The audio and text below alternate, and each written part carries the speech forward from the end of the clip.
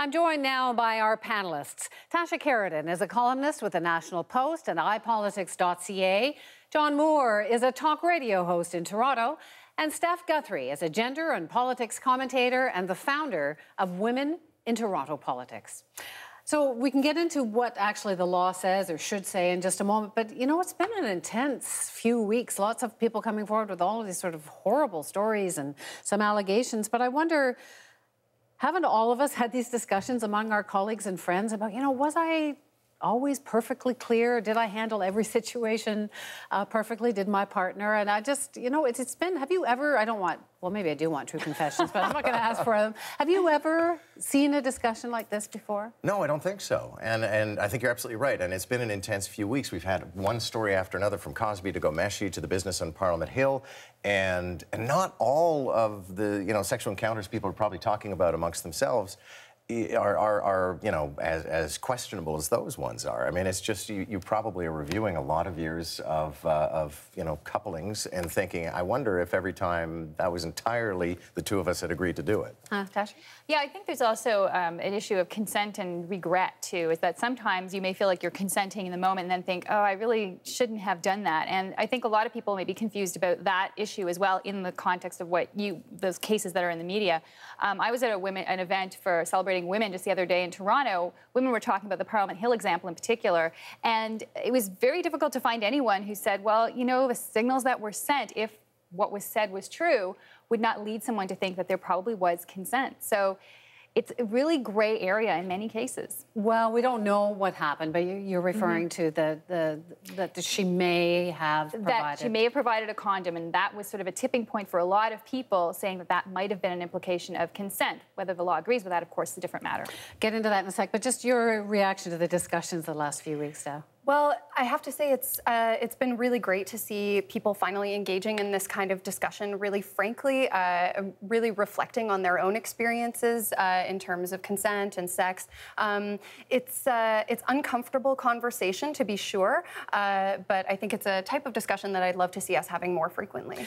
Before we get into that, I think I found this really interesting. Checking out what the law, the criminal code, actually says. It says consent means the voluntary agreement of the complainant to engage in the sexual activity in question, and that it's not a defense that the accused believed that the complainant consented to the activity. It also suggests the accused must have taken reasonable steps to ascertain that the complainant was consenting.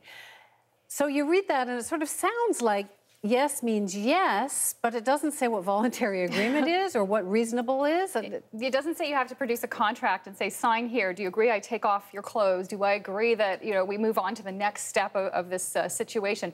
It isn't completely clear, and I think this is where the misunderstanding often happens. Yes does mean yes, but how do you how do you define yes? Is it uh, the person being silent? No, the law says that's not enough.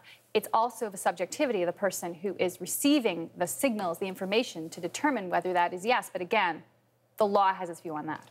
So you're a big yes means yes. Uh, you argue for that, but does it need to be clearer? Does it need to be stricter in law? Well, I think one of the advantages of the California law is that uh, it, it, gets quite specific about what doesn't constitute consent. And as you mentioned, you know, silence doesn't constitute consent. That is made clear and explicit in the California law. It also indicates that a lack of resistance doesn't constitute consent. Uh, the Canadian law doesn't get into specifics to quite that same degree, and I think that uh, as a result of that, it's subject to the interpretation of the people who are actually enforcing the law and their understandings of consent. Yeah, and I, am not here to argue against the notion of consent for Pete's sake, but I also think there's a difference between um, the fine points of the law and how things would be litigated after a sexual encounter that somebody says, no, absolutely, I did not give consent, and the way real life works. I mean, you, you saw it in the, the, video there, the idea of actually handing somebody an iPhone and saying, please check here. It's a lovely idea, but in real life, I'm not sure it's going to happen. Um, and, and, you know, I'm not here to argue in favor of the idea that, uh, you know, regret is, is a good thing or sexual aggression is a good thing, but I also think the law and reality uh, and real life aren't necessarily the same. I think one of the beautiful things about our legislation around affirmative consent, or yes means yes, is that uh, it doesn't specify that you have to explicitly say, yes, I want to go through with this activity. It could mean that you're communicating it through your body language. It could mean that you're communicating it through your facial expressions. Mm-hmm. And yes, that, that, you know, some people might think that that makes things murky, but really what affirmative consent is all about is being invested in the pleasure of your partner to the same degree that you're invested in your own pleasure. Well, and being able to consent as well. And this is the issue too. Um, if somebody is incapacitated, they cannot give consent. Um, that used to be a defense in law. If the person said, "Well, I, you know, I thought she gave consent, but she actually, in fact, was too drunk and could not do so." Mm. What, one of the things that frustrates me, though, is that we have a lot of emphasis on consent, which I think is important, but we have no real discussion of how it is to actually reduce the risk that you would be in a situation where someone could assume consent or force you to do something you don't want to. Um, and college campuses in particular, there's very little conversation about saying, look, if you're going to be drunk at someone's apartment at two in the morning, you might be at risk. It's not saying you're at fault of what might happen to you, but you might put yourself at risk. And I don't think that message is being communicated to the same extent as consent issues and the yes means yes conversation. And I think it's important that, that, you've articulated that because a lot of people will jump in and say, well, that's blaming the victim. Exactly. But you know, Camille Paglia will not. say that uh, women should be more like gay men. They should just assume that almost any situation can turn sexual and be in a position to put a stop to it.